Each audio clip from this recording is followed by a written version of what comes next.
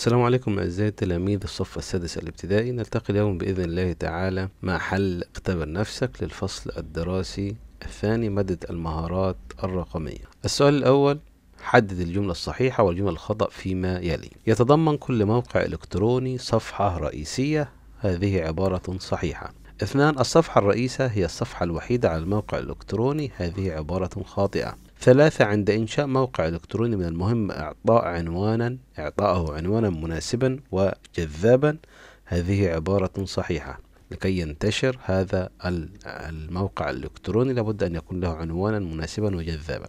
أربعة يتم استخدام علامة التبويب إدراج في واجهة التحرير فقط لإضافة نص إلى الصفحة الإلكترونية. هذه عبارة خاطئة. خمسة حجم الصورة أو حجم الصور لا يمكن تغييره بمجرد إضافته إلى الصفحة الإلكترونية.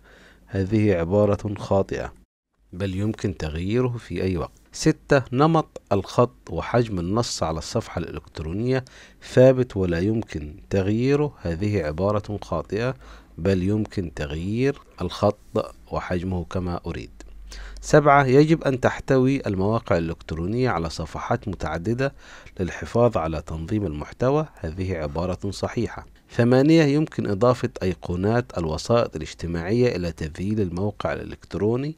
هذه عبارة صحيحة. يمكن أن نضيف موقع الفيسبوك أو تويتر أو لينكدين أو أي موقع يمكن إضافته في تذييل في آخر الموقع الإلكتروني. تسعة أيقونات الوسائط الاجتماعية هي صور قابلة للضغط عليها ترتبط بملفات تعريف الوسائط الاجتماعية لموقع إلكتروني. هذه عبارة صحيحة. سؤال عاشر. بمجرد نشر موقع إلكتروني لا يمكن تحديثه أو تغييره بأي شكل من الأشكال هذه عبارة خاطئة بل يمكن تحديثه وتغييره والإضافة إليه والحذف منه وغير ذلك. السؤال الثاني اختر الإجابة الصحيحة. واحد الشبكة الإلكترونية العالمية هي أحد مكونات الإنترنت يتكون منها يتكون من أجهزة حاسب مترابطة أم مجموعة من المواقع الإلكترونية التي تحتوي على صفحات إلكترونية أم أنه لغة تصف كل ما تريد عرضه على صفحة إلكترونية أم أداة لإنشاء المواقع. الشبكة الإلكترونية هي مجموعة من المواقع الإلكترونية التي تحتوي على صفحات إلكترونية. اثنان وظيفة الارتباط التشعبي. يجعل النص غامقا أو مائلا أم يعيد توجيه المستخدم إلى صفحة إلكترونية أخرى أم يدرج صورة في صفحة إلكترونية أم ينشئ صفحة إلكترونية جديدة. الارتباط التشعبي هو يعيد توجيه المستخدم إلى صفحة إلكترونية أخرى. ثلاثة الصفحة الرئيسة. هي صفحة مصممة يتم عرضها على خلفية جهاز محمول أم صفحة مخفية عن العامة أم نوع من المتصفح الإلكتروني أم الصفحة الأولى من موقع إلكتروني. الصفحة الرئيسية هي الصفحة الأولى من أي موقع إلكتروني تسمى الصفحة الرئيسية. ننتقل بعد ذلك إلى السؤال الثالث. اختر الإجابة أو حدد الإجابة الصحيحة أو الجملة الصحيحة والجملة الخطأ فيما يلي تعد قاعدة البيانات نظاما لتنظيم البيانات. هذه عبارة صحيحة. اثنان تحتوي قاعدة البيانات على جدول واحد. هذه عبارة خاطئة. ثلاثة حقل قاعدة البيانات هو مجموعة كاملة من المعلومات. هذه عبارة خاطئة. أربعة تسمى كل خلية حقلا في قاعدة البيانات. هذه عبارة صحيحة. خمسة يعد مايكروسوفت أكسس من البرامج الشائعة لقواعد البيانات. هذه عبارة صحيحة. ستة يجب أن تتعلق جميع المعلومات الموجودة في قاعدة البيانات بنفس الموضوع. هذه عبارة صحيحة أيضا. سبعة يمكنك استخدام علامة تبويب تخطيط الصفحة لتنسيق نطاق خلايا كجدول. هذه عبارة خاطئة. ثمانية ميزة التنسيق كجدول في مايكروسوفت إكسل لا تضيف وظيفتي الفرز والتصفية إلى بياناتك. هذه عبارة خاطئة. تسعة يساعد فرز البيانات وتصفيتها على فهم البيانات وتنظيمها بشكل أفضل. هذه عبارة صحيحة. عشرة يوجد نوعان من الفرز في مايكروسوفت إكسل وهما الفرز التصاعدي والفرج التنازلي هذه عبارة صحيحة. سؤال الحادي عشر عند تطبيق التصفية على جدول قاعدة البيانات ستبقى السجلات ولكن لن يتم عرضها. هذه عبارة صحيحة أيضا. ننتقل بعد ذلك إلى السؤال الرابع.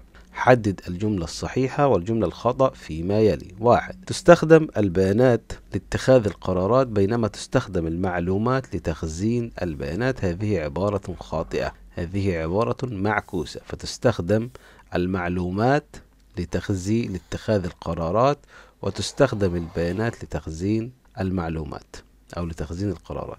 اثنان البيانات هي الحقائق الأولية الموجودة حولك. هذه عبارة صحيحة. ثلاثة البيانات هي قيم لا تعطي معنى وهي منفردة. هذه عبارة صحيحة أيضا.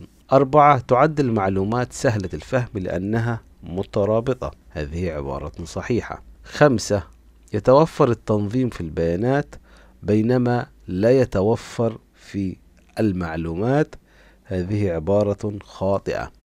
ستة المعلومات هي مدخلات للحاسب. هذه عبارة خاطئة لأنها مخرجات وليست مدخلات. سبعة تعد البيانات العددية نوعا من أنواع البيانات. هذه عبارة صحيحة.